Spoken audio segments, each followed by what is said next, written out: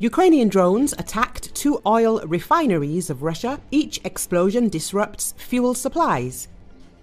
On the morning of March the 16th, two drones attacked two oil refineries in the Samara region, according to Telegram channels Baza and the city of Syzran.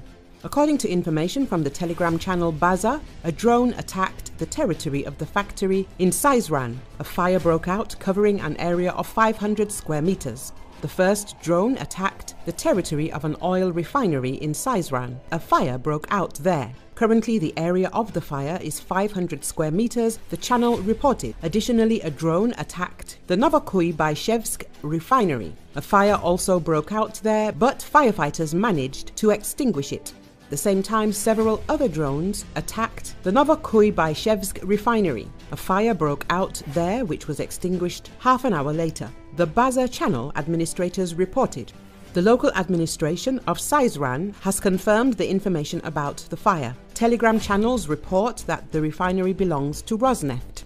The local Rosneft refinery in Syzran is on fire after a drone attack. AVT-6 is under attack again, as one of the video's authors says. This is a unit with two rectification columns, the heart of the plant where oil is processed, the channels reported. Andriy Yusov, spokesperson for Defense Intelligence of Ukraine, said that every explosion at a Russian oil refinery disrupts the supply of fuel to Russians in the combat zone in Ukraine. Yusov has neither confirmed nor denied that the strikes on the Russian oil refineries were the work of Defense Intelligence of Ukraine, but he specified the types of facilities at which explosions occurred. These are both storage and production capacities. Every such incident that has disrupted the operation of some facilities over the last few weeks or months also disrupted the pace of the supply of fuels and lubricants to the occupying forces in Ukraine.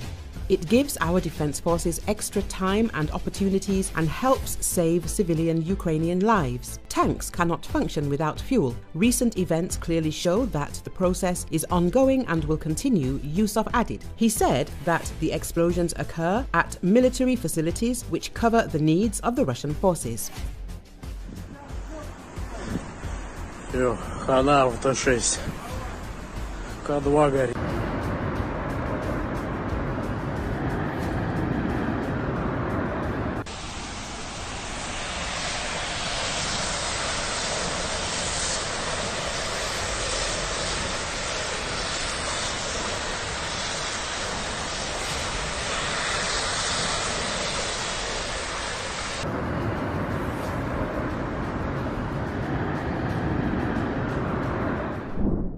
Russia awakes to biggest attack on Russian soil since World War II. The biggest attack on Russian soil since the Second World War continues as waves of attack drones continue to fall on Russian oil refineries, military bases, and security services. At least 60 drones were spotted over not less than seven Russian regions overnight on March the 13th, with at least seven more in a morning wave, Russia's defense ministry announced. A major oil refinery is ablaze in Ryazan.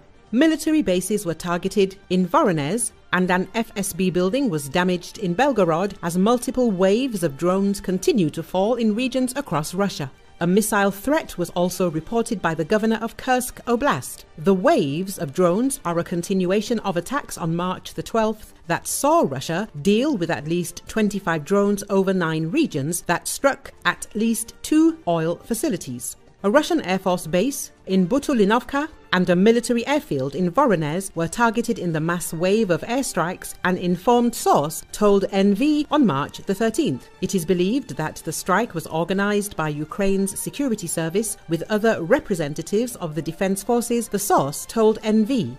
The consequences of the attack are being clarified. Part of the city of Voronezh was blocked, including the southwest market after a drone attack, while another community in the region was left partly without electricity.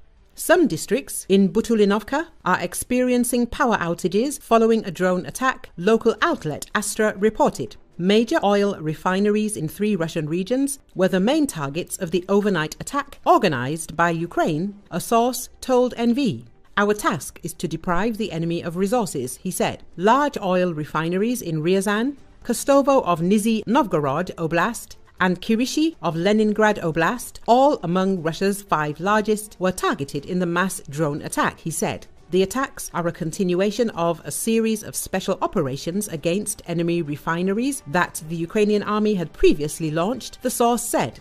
We are systematically implementing a well calculated strategy to reduce the economic potential of the Russian Federation, the source added. Our task is to deprive the enemy of resources and reduce the flow of oil money and fuel that Russia directs straight to the war and the killing of our citizens. This work will be continued, pledged Andriy Yusov, a representative of Ukraine.